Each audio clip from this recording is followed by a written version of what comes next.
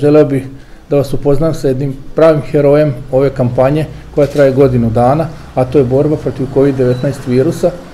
Ja ću koristiti priliku da pored toga što kažem da sam ponosan što sam na čelu kolektiva u kojem radi doktorica Sekulović, da istaknem da ovom istom kolektivu radi i njen muž, da je on zaposlen na infektivnom odeljenju i da su oni svoj život u poslednjih godinu dana u potpunosti podredili borbi protiv ove pošasti. Još bih rekao da su veliku žrtvu u svemu ovome podnela i njena dva mala sina koji su u prilici da svoje roditelje viđaju samo kada ovi nisu na poslu ili kada su sigurni da je to u potpunosti e, bezbedno. Mislim da ste sada ovaj, jednostavno u prilici da sve ono što smo slušali kao da su lekari pravi heroji, da sada upoznate jednog zaista takvog lekara i žela bi da prepustim reč doktorici Sekulović. Kao prvo, e, e, ja želim da napomenem da ova e, zlatna medalja koju je meni uručio predsjednik države u stvari predstavlja odlikovanje za celu našu bolnicu, odnosno službu anestezije, podržanu službom za interne bolesti, infektivne bolesti i svih drugih specijalista kao i medicinskih tehničara sa tih odeljenja koji su nama pomogli da ovaj, e, uspostavimo, da kažem, jednu ravnotežu u radu između crvene, zelene i narančaste zone. Ovaj, ja nisam neko ko voli da izdvaja pojedinca van kolektiva, niti pojedinac čini tim, tako da to neću ni ovaj put uraditi. Mi smo se kao kolektiv i služba anestezije jako trudili da ispunimo e, sve e, zahteve naše ustanove. Ovaj, znate da pored korone naši pacijenti boluju od drugih bolesti, a mi kao služba učestvujemo u lečenju na oba fronta.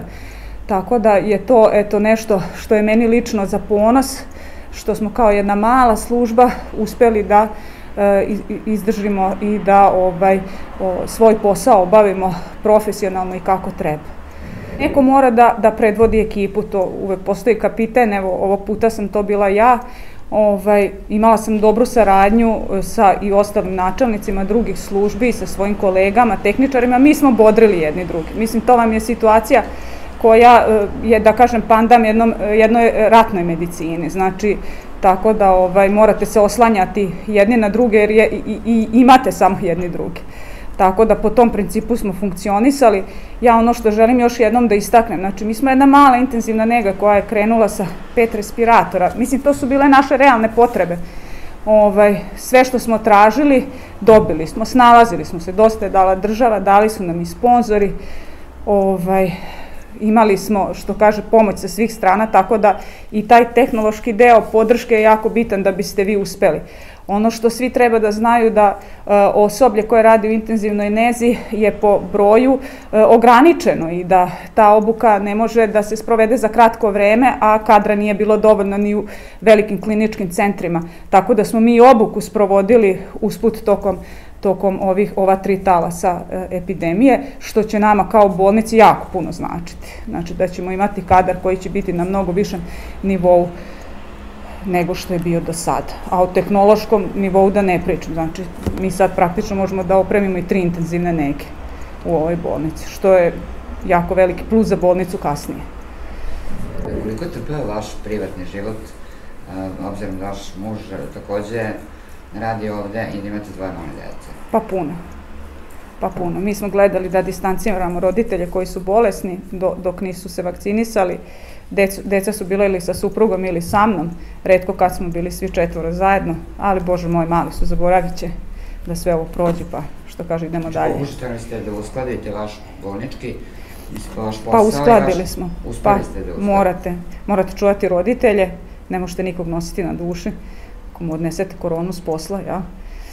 Deca su mala, nadate se da su to blaže kliničke slike, tako. Ja bih vas pitala u kojim trenucima ste bili najponosniji na sebe i svoj tim? Ja nisam nikad o tome razmišljala. Iskreno da vam kažem. Mislim, nisam imala ni vremena, niti sam se bavila takvim stvarima. Mi smo se bavili da odradimo posao ovaj, u, u, u zadatim uslovima koji su po broju pacijenata i težini kliničke slike bili nezamislivi meni prošle godine. Eto. Stvarno se nismo tim bavili. Hvala. Da li ste imali vremena za strah? Pa mi se sve vreme bojimo. Mi se bojimo i četvrtog talasa koji najavljuju. Znači, to je ljudski. Tako da, da, se, da se uplašite i da kažem nečeg nepoznatog što nam nije više toliko nepoznato, ali je strašno.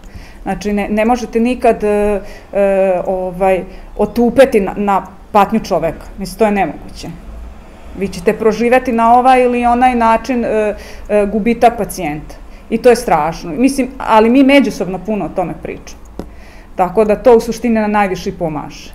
Bilo je jako mladih pacijenata ovaj, koje nismo uspeli da spasimo i nama je to, to bilo ja, jako ovaj, tragično.